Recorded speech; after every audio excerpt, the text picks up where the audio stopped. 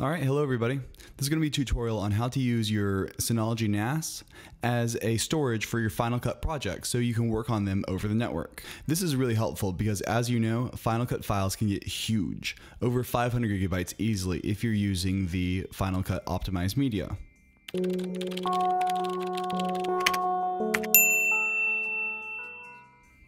So first off, if you're doing this, you're probably going to want at least a wired gigabit connection. Otherwise, it's going to be almost completely unusable.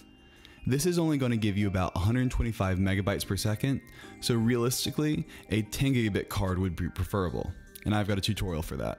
Also, for this tutorial, I'm only going to be covering NFS. There are two different ways you can connect to your Synology, NFS and SMB for Final Cut Pro projects. However, SMB has a few issues, so in this case, NFS is going to be what you want to use. It's also a great file standard for small file transfers, as it does not have the same overhead as SMB does for each transfer. So now I'm going to show you what it's actually like when you try to use SMB without configuring it. So we're going to go into one of my archives. All right, so right here, I've just got a Final Cut bundle that is currently saved on a SMB share on my Synology. So this is what happens when I double click on it to open it. it you get this error. Unsupported volume type, check a local SAN, storage area network, or supported SMB location. So unfortunately, I have not gone through and done the configuration, so it's not gonna work. So instead of using SMB, we're gonna use what's called NFS, which is Network File System. NFS is a Unix only protocol, so you're not going to be able to use it on Windows. However, you can't use Final Cut on Windows either, so we're at a moot point. So the first thing we're actually going to do here is configure our Mac to use a static IP address. This is not required, but it can help your traffic go faster. So we're going to go through and click System Preferences, Network, and we're going to edit this connection. This is my 10 gigabit connection. So under configure IP4, we're going to change this from using DHCP, basically means your router assigns you a random IP address every time. We're going to use DHCP with a manual address. And see, now we can select an IP address that we would like to use. So as you can see here, my router's IP address is 192.168.1 255.255.1. Because my subnet mask is what it is, 255.255.255.0, I can only vary the last segment of the IP address. So I'm going to want to keep the 192.168.1 the same. This way, everything else on my network will be able to find it. You want to make sure to copy the first three segments of your router's IP address, and then the fourth is what you can decide. So I'm going to change it to 120 and hit apply. One thing to note, if your router accidentally gives out this 192.168.1.120, your Mac will not be able to connect or will revert to a automatic IP address.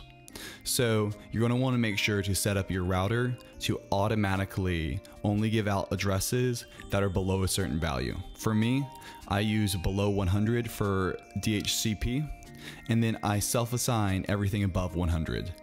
This way, I ha can have up to 100 devices on my network that I don't control, which I'm not going to have, and I can have a bunch of IP addresses to work with myself, so I never accidentally assign myself to IP addresses. All right, so now that's done. So we're to go now and we're to log in to DSM. All right, so once we've logged in, we're going to have to enable NFS. So we're to go into Control Panel, File Services, and go down to the final value, which is Enable NFS. And you're going to want to use NFS v42 because it's just faster, and hit Apply. This is basically just enabled using NFS generally on our NAS. But NFS differs slightly because it also has to be enabled per folder and they get aliases and self-assigned IP addresses. So we're going to go through here and we're going to use the one, we're going to use for tutorial and we're going to hit edit. So here, there's a, an entire subsection of the menu for NFS permissions. So we're going to select that and we're going to create a new rule.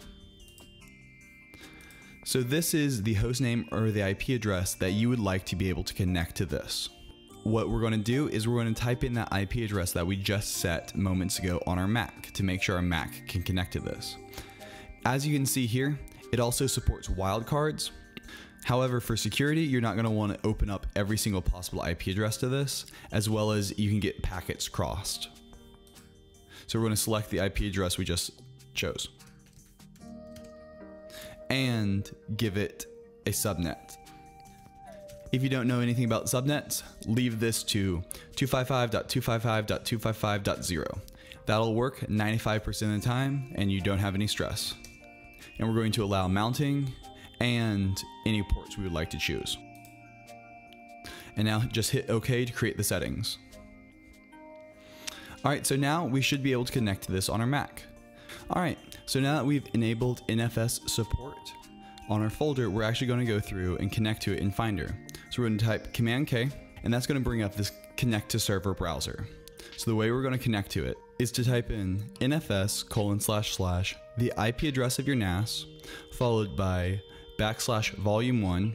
My photography folder is stored on volume one, and backslash photography. It's the same thing that was in that box earlier, and hit connect. So now you can see we've connected to it. And I'm going to go back to that same folder. All right, boom. We're now able to connect to it over a network share and it works just fine. So this is great because it's really saving a ton of space on our local hard drive because you know how big Final Cut projects can go.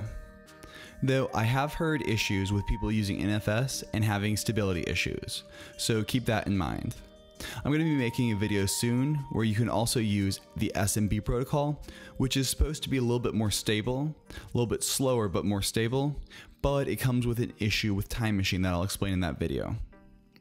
Alright, thanks for watching. Subscribe to see the next video and have a good day. Bye.